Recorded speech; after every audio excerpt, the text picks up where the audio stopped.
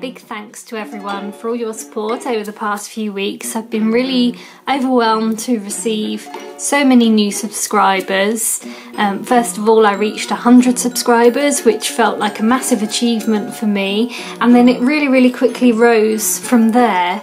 Um, and I've even passed 500 subscribers, so I thought I'd do a giveaway. I've got some nice items for you here from Tiger. We've got a tin which would be perfect for a travel watercolour kit um, or however you would like to make a travel kit. You could put pencils in it or, or whatever you like.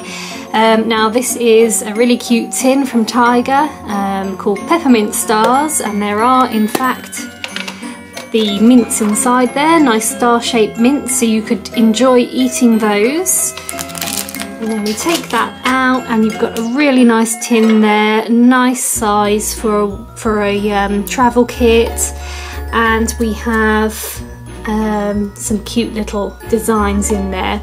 Now if you wanted to make the lid into a palette, you can spray it with a um, white acrylic um, paint but I think it's really cute as it is so what you could in fact do is get one of those paper palettes and you could you could even stick the paper palette in there or you could get a clear plastic for example the kind of plastic you get on packaging and you could actually cut that down to size and put that in there so that you can mix your colours on there.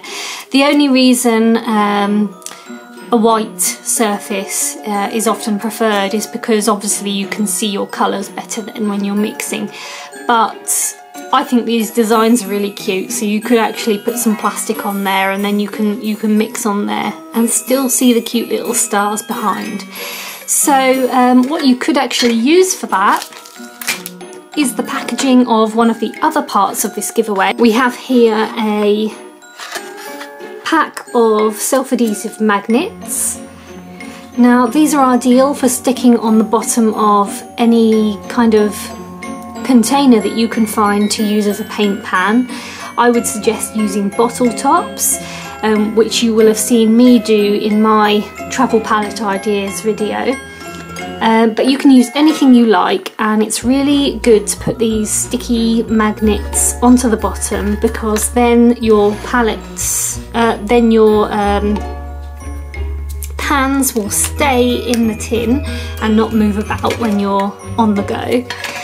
So you'll also get a pack of these and as you can see there is a plastic packaging here which is probably actually the ideal size to put inside the lid. So if you cut this plastic out here and put it in the lid here you can use that as a mixing palette and you could even take the plastic out if you wanted to and put it down um, on whatever surface you're painting on and, and use it as a palette. So that's a little bonus there with the packaging of the magnets. And lastly, we also have here a gorgeous little collapsible cup. Now I saw this in Tiger and I thought it would be absolutely brilliant for travel painting because you've got a little clip here so you can attach it to your bag or, or whatever. And what you do is you open it up like so and you pull up the sides and you have a little cup.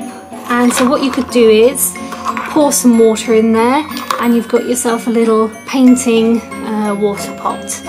So this combined with the tin which you will put your own little paint pans in and stick them in using these magnets will make up a nice little starter watercolour travel kit for you. So I hope you really enjoy receiving these and making your own watercolour travel kit.